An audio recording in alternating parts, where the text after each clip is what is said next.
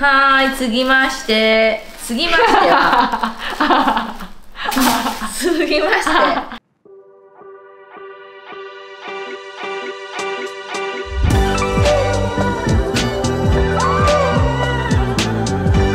のどチューブです。最終日に近づいてまいりました。皆さんお元気でしょうか？買ったもの紹介追加でいきたいと思います。今日ボンマルシェに行って前回、えー、ゆうすけくんが私になんか買ってきてくれてその場で食べたのがもう忘れられないぐらい美味しくてお土産で自分に買いました、はい、でチョコチップはさえが買ってほしいっていうか買ったけど、うん、これ？買うべきものだったのかな？っていうぐらいこっちが美味しい。こっちがやばい。かんない。私の個人的な意見です、はい、でその後寺院に行ってお歌をね歌われててそれもちょっと見させていただいてその後メダイ入りの月のブレスレットがあったの。これ赤ちゃん用。かわいい。超細いやつと娘とっていろいろ買ったりあとこのメダイもいくつか買いました。作るんですかまた？作ったり最近は海軍の人たちが使ってるとされてる白と赤のこう縄になってるやつを通してここにぶら下げるだけで可愛いからそういう風にして人にあげたりしてます。はい。もらわないといけないんですこのメダイはもらうといい。なので私はあげてあげてます、うんはい、おばやさんにもらってましたね。おばやにこれ買って。っ ておねだりしました。なんで自分の分は買ってなくて娘だったりとか皆さんお土産とかに買いました、はい、保冷バッグをですねまたまた保冷バッグに出会ってもうどんだけ保冷すんねんって言いそう。ガレット屋さんで本当に配達してるんだと思うんだけど、うん、使い込んでるやつもあって可愛くない？可愛いめちゃくちゃ。これ8ユーロ一番安かったよ今までの保冷バッグの中でを買いました。はい。これにまたバターを入れます、はい、その後チョコレート屋さん行ってジャックイズゲジゲニンゲニン。ちょっと違ったななんだっけな。なんだっけ？インスタライブしてる時にこのチョコレート屋さんは本当に行った方がいいって何人かに言われたチョコレート屋さんです、はい、ジャクイズ・ジェミニみたいな、うん、もうさすごい高いチョコレートをさなんかさ 適当に食べるの本当やめてほしい私もさっき1個もらいましたあ食べた、はい、丁寧に食べてくれた、はい、かわいいです。このお土産とかにいいよね。確かに。これ十何ユーロとかだからお土産とかにいいと思います。これは私の好みです、はい、フランキーショップに行って爆買いしました、はい、なのでどんどん見せていきたいと思います。これはレジのところにあったアクセサリーですんごい可愛かったけど私ななんか歩いて帰ってくる時に私あれなんで買ったんだろう。レジ横ってその魔法があるんですよ。で300ユーロとかで、うん、まあでも可愛い？可愛い。いやちょっと可愛いなって思ってました。思った？はい見た時。いや映ってるんですよね マジで。毎回。頭金髪？全然映ってる右と左が違うデザインが違う。可愛いと思いました。思ったよね、はい、で300これも300何ユーロとかで、そんな高くなかったからって思ったけど300何ユーロ高くないって言うてももう6万じゃんみたいな、なんとなくもう 100×100 しちゃいますよねそうなの。数字ってね。3万くらいじゃんみたいなもん3万ぐらいじゃんとか。言うても4万ぐらいじゃんって思うんだけど、うん、いやいやいや6万ぐらいだ。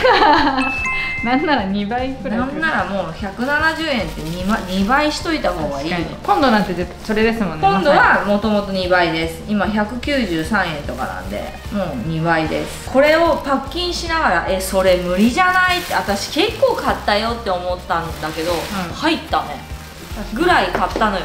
すご。出る。たったらパジャマ。可愛いと思った。可愛いよね。パジャマじゃなくて外にも外にも行けるんだと思う、うん、もう夏になるとさゆるい格好したいから部屋着にもしつつ外にも着ていけるみたいな。ちょっとウエストはちっちゃい気がすんな。いやそれなんかそこのやつ全部ウエスト細めでした。だから伸びんのかなって思ってた。はい。はい。パジャマ。可愛いです。タンクただのタンク まあ絶対着るやつね。絶対着るし私はちょっともうこうカットソー系は何枚あっても足りないのでサイの部屋のタンスに入れられるんだよね。ちっちゃいとちっ思われるちゃいから。いや私のだからみたいな。でもサイがナチュラルに着てたりするのうん。よこれを。いや高かったやつだからみたいな。はい。これ高くない。でもそんな高くない。すごいアメすり具合。いくらだと思う？170フランキーショップのこと舐めてるでしょ。そんなに長いの？100なんてするはずないじゃん。嘘。63ユーロ安い。でも6300円じゃない。じゃない。にほぼ2倍。1万2000円。だから100何ユーロはちょっと合ってる。テンション的に。テンション的テンション的には、はい。計算むず。ショートパンツ。これはなんじゃないショートパンツなんですけど生地がねデロンデロンデロンデロンギ デロンデロンなの。デロンギではない。リゾート地にさ別荘を持ってるイメージなのね、私。うん。どういう意イ味メージは。自分のライフが？イメージと自分のライフのイメージトレーニングだけは常にやってっから、はい。それで言うとほぼなんか夏はうん。リゾート地にいるの海辺のね、うんうん。庭とかを掃除したりとかして、うん。そのまま午後スーパーにうんうんうん行ってるみたいな、うんうん。あのツーシーターしかない、うん。ルパンが乗ってるちっちゃな車みたいなのに乗って、一人でスーパーに行くっていうイメージなんだけど、それこれそれをこれをで一日これで過ごしてるみたいなイメージです。これにアメスリタンクとかで、い。これだけだとパジャマみたいじゃんみたいな感じだから、ネイルとピアスはちゃんとあるしてるみたいな、うんうんうん。してないけど。っていう？っていうライフのイメージ。トレーニングは しっかり常にできてるんで。想像つきました。想像がつきましたね。はーい次まして。次ましては。次まして。短縮していきますよ。次まして。め っやばい。ちゃ笑うやん。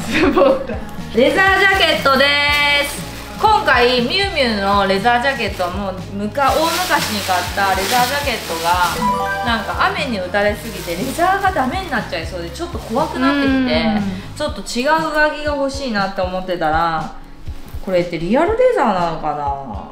それだったらすごいと思うんだけどいくらだと思う？可愛くない？メンズオーバーサイズみたいな。めっちゃ可愛い。めっちゃ可愛くない？790小山うん、千。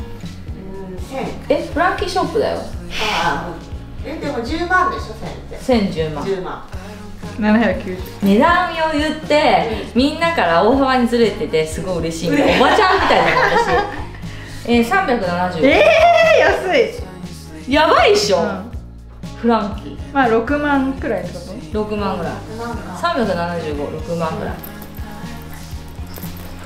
かわい。い可愛いよね。結構ボロボロになってもかわい。い可愛いと思うしでもこれちょっとリアルレザーじゃなかったらボロボロになって可愛い提案ないからそっか。そこが大切なんだけどでもねちゃんと臭いんだよね。レザーかもしんない本当に。またもう一個ジャケット。かわいい。これもメンズのコーナーになくて女性のコーナーにあったんだけどメンズのコーナーが意外にしょぼく見えた。うん。ジャケットです可愛い。横から見たお袖も可愛い。可愛いよね、本当だ。百八十。あ値段ね。これ370だからね。百八十。そうですよね。半半分以下だと思いますね。マリナさんは？140おばやんピンポン。イエ188ユーロ。フランキーショップしか勝たんじゃない わかる。パリに行く用事ってフランキーショップだけかもでもニューヨークにもあるんですよね。ニューヨークとパリラグジュアリーブランドなんてもう高くて恐れ多くてただジャクムズみたいなそういうシチュエーションに行ってね、うんお店にね。もう本当になんかこっちが入場料払いたいみたいなところでやらせてもらってますって感じだけどなんかリアルに自分が洋服買うってなった時にすごい可愛くない？かわい。いでもう私はそのロンドンもトップショップもそういう感じ。まあ世代が違うからあれかな。トップショップ行って買えば何でも可愛いじゃんみたいな感じだったんだけど、今ねそういうテンションじゃないんだよね。そうなんだ。私の年齢的にそうなのか、うん。時代がもうトップショップじゃなくなったのかが、うん。ちょっとその辺は分かりません。フランキーショップ最高じゃんみたいな最高じゃんってなっちゃって。うん。ワンシーズンごとにうん。フランキーショップだけチェックしにパリに行きたいと やば。なんかコレクションチェックにあの適当な感じとすごい型数をブワーって一型ずつ置いてるのと裏からサイズ出してくださいみたいなこと言ったら店員さん同士でもう大喧嘩してるわけ。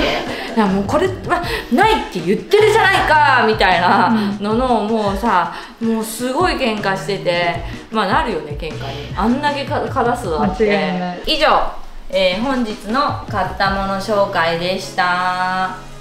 あちょっと今日事件があってい。一つお伝えしたいんだけど、一昨日か、うん。これ買ったんだよねマリナと一緒に、でなんかレジのう後ろから出してもらってなんかその痛みが和らぐ筋肉痛とか筋とかそういうの和らぐみたいなやつを買わせていただきました。値段とか聞かずに買っちゃったんだけど、私は他のものも買ったからセットで17ユーロみたいな感じだったの、でじゃあまあ7ユーロと10ユーロかなみたいな感じで買ったんだけど、その後マリナこれを単品で買った時に、2. 点な、まあ、3. 点何ユーロって言われててえ？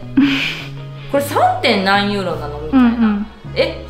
なんか 2. 何ユーロは税金込みで 3. 点何ユーロえー、安っみたいなそしたらお土産にいっぱい買ってこうと思って、もう一回今日薬局行きたいですって私言ってたんですよ、はい。昨日とかも薬局何軒か回ったんだけどないんだよね、うん。ないねないねって言って今日もゆうすけくんと合流した時に回ってなんと見つけたんですよこちらを。本当はこっちが私たちは求めてたんですよね。はい。野沢温泉で野沢温泉泉で修子が貸してくれて、うん。めっちゃええやんってなったやつがこれなんですよ、うん。何ユーロって貼ってあったんだよね値段が。そそしたら7.9ユーロって書いてて、うんうん。え？これ3ユーロだったよみたいな、うん。こっち、うんうん。で私は7ユーロって聞いた時にじゃあもうなんか10個ぐらい買ってお友達に配ろうと思ってたその気持ちが 全部なくなって えやめたみたいな、うんだから私は一つも買わなかったうんんですよ、でここの店に戻れるならば戻りたいと思ったけどそれもちょっと遠いしなみたいな感じでやめました、ミスだったのか何だったのか。ミスじゃない。おかしいもん、うん。でマリナがそれ賞味期限がめっちゃ短かったんじゃないですか、うん。2026年7月。じゃあ大丈夫か。全然問題ない。2年後。買えばよかったもっと。確かに。もっと買っとくねってその場で買っとけばよかったですっていう珍道中もあったりとかしてベルナシオン。ベレナシオン。ベルナシオンでマリナは田中みな実さんが大好きなチョコレート職人さん屋さんでチョコレートを買ってました、はい。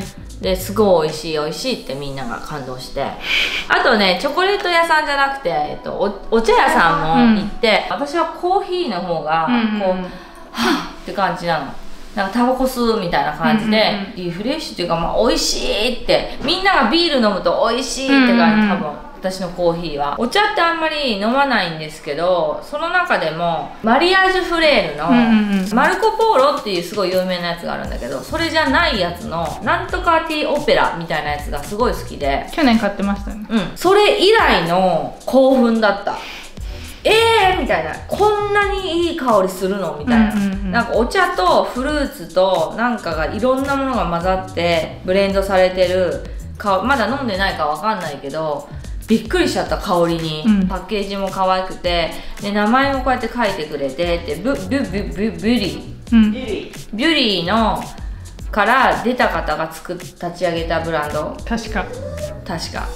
いや絶対そうだと思う。ぽい感じですもんねうん、めちゃめちゃそうだった。本当にもうその通りだった、うん。うんすごい素敵だった。けどウーバーが来てあのごめんなさいもう行かなきゃいけないからもうラッピングしなくていいですみたいな感じで言ってそしたらゆうすけくんが僕後で届けてあげるからお金だけ払ってもうレシートもらって行きなって言ってくれて、うんうんあやっぱりラッピングしてほしいですって言って帰ってきた、リボンとかどの色がいいとかいろいろ聞いてくれたりとかお店というものとそのそこで買えたことがすごい嬉しかったのでそれはまた別で紹介したいと思うんですけども今日は買い物しないかもしれないのでそんな感じの買ったもの紹介。すいません。全然なんか少なくて買ったものが。